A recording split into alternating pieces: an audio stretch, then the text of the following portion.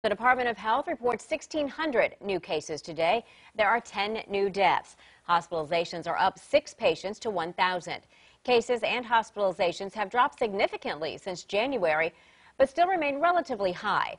The percent of positive tests is down to 5.6 percent. More than 1.1 million Virginians are fully vaccinated. There are 269 new cases in our area and six new deaths. Those COVID-19 metrics are trending downward. 260 people are hospitalized in our area with the virus. The positive test rate is up to 9.6 percent.